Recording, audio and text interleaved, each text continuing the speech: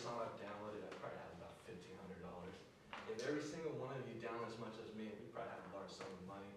So what I'm getting to with this is the fact that piracy is so easy and simple. So I'm feeling the game while CD stores and artists are feeling the pain.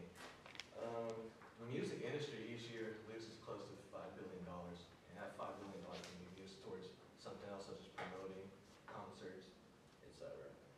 Now, piracy affects every level in our community, and that comes down to local area too, such as local CD stores. And, I mean, that goes all the way up to and the record label, and also personal. Um, so ever since piracy had emerged, it has done both good and bad to each our, each and every level. Um, so, question, anyone here down music illegally or has downloaded in the past? Yeah. Alright, so are you guys aware of who the RIA is? Yeah. Okay, just one. Well, let me introduce you to, let me introduce you to RIA and, uh, so you guys know who they are. They're simply the, uh, a third-party company that represents the record label, and this is just for us, from probably like tens of thousands of different clients. Uh, simply put, they are the governing bodies who monitor the record industry to prohibit, uh, piracy. And I got a list of just about two, three hundred of them. Um, I mean, it's just like random ones. Yeah, and if you look from the list, there's record labels such as Interscope A&M, Island Def Jam, and uh, Roc-A-Fella from Def Jam as well. And all these are RIA represented. Okay, thanks. Um, to some people, they're known as the internet police because of what they've been doing lately, and busting people for downloading music. Uh, so what do they do? Well, simply they foster a business and legal environment to protect the artist's financial vitality, and they make sure that people are not uploading music, so that way they can protect their client's property.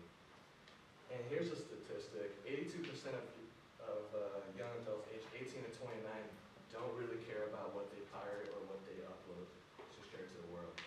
Now, let me tell you why piracy is bad. And first of all, I'm gonna start off on a personal level. According to RIAA, the Recording Industries Association of America, um, you can be guilty for infringing or sharing your client's property, and penalties may be up to two hundred fifty thousand dollars or up to six years in prison. Now, there was one lady, her name is Patricia Santangelo, and she was a divorce mother, and she was sued by RIA for downloading music on LimeWire. And uh, in court, she denied the claims, but RIA had the evidence to back it up, and they found that she downloaded all these music that were of interest, and she coughed up and later was accused of it, and since the RIA was generous, they settled the claim for three or four thousand dollars instead of tens of thousand dollars. So, and also, I feel bad for downloading music, because it, I mean, it's just like stealing. I mean, if I was gonna steal music, I just might as well walk to the store and just jack an album, and walk out with it. Um, CD stores also get affected by this issue because people rather pay for, rather download for free than buy the CD because, I mean, who wants to pay for, you know, fifty bucks for a CD that has only a few good tracks on there? And, uh, according to this lady, her name is Hyde Ponder, and she's from the American Federation of Music. She did a research and found out that sales drop by twenty percent every year. And because CD sales are dropping every year, the RIA, who does all the production stats, they had to cut down on their CDs that have to be sold as well. Um, Here's a, statistic- here's a stat from, is that better? Alright, so here's a stat from two thousand four to two thousand six, and you see in two thousand four, all production of their CDs was worth about eleven million, four hundred forty-six thousand. And this is just for a, one of those little small record labels, because they do a audit for each label every year. And as piracy started to t- pick up speed, they had to lower their production, so you can see all the, all the money just decreasing over those years. That's for CDs. And that is just for CDs. Yep. Um, I mean, stores and business are going out of business simply piracy, and there's a music on Millennium, not too sure you guys are familiar with it. They had two locations, but they had to cut back to one location, the last one's located on Burnside. And it's not just some small stores that are affected by this, uh, this trend, but also big box stores. Stores such as Tower Records and, uh, Sam Goody's, they all bankrupt and close all their stores. And soon to close their stores, Wherehouse Music too, they're closing hundred fifty stores over the, over the country. Um, another con for record labels and artists are the people who contribute to the project and they're not getting any returns financial wise. I mean, you got people like artists, producers, manager, A and R executives, and all the people who, you know, spent time making this album, they're not getting any of their returns. Also, on a local level, emerging artists, you know, from Portland, they're not getting any of their reps built up, so it's kind of hard for them.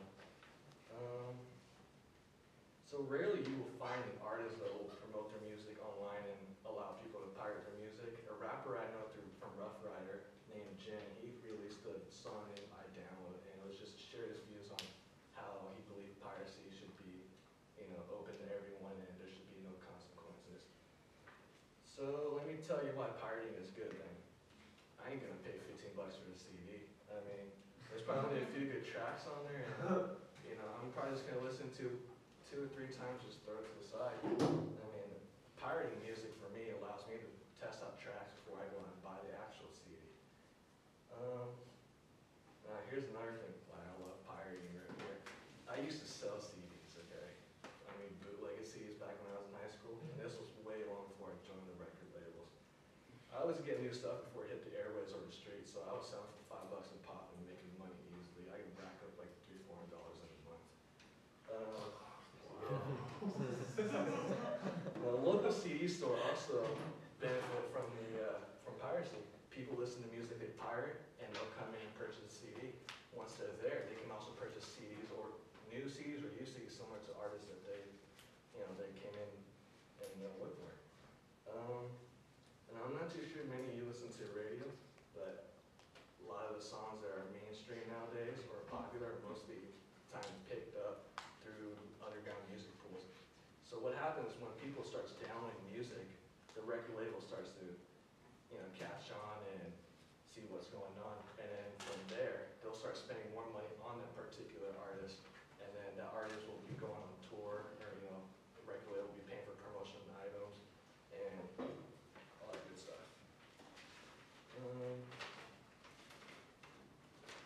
Eight minutes. Okay, so in I've to you about the governing bodies that protect the industry from pirating music, and also the pros and cons of, pros, of- pros and cons for pirating for consumers, CD stores, record labels, and artists. So now that you have a little bit more information about piracy, um, hope you all think about twice about pirating music. I know I like music a lot myself, just like many of you do, but I ain't going to jail for six years or pay two hundred fifty grand just for a track. So, you know, just give credit where it's due and just support your favorite artist by shopping at local CD stores.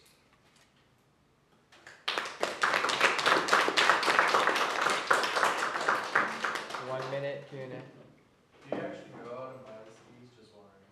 What? After you like download them? I actually haven't bought a CD for a long time because I get all my CDs for free now. Okay, we don't have that.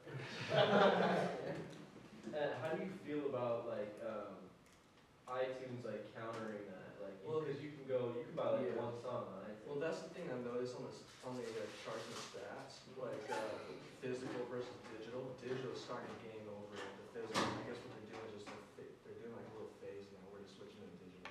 It's so much. It's so much cheaper. It's so, it's much easier, you know, much easier, you know, for people to access, and you can find like pretty much all the old songs, you know, that you can't find on CDs anymore. Yeah. And, you know, it's just with a simple click, and there it is. That's actually what I was gonna ask, kind of in the same We vein. gotta- Um, gotta cut. no,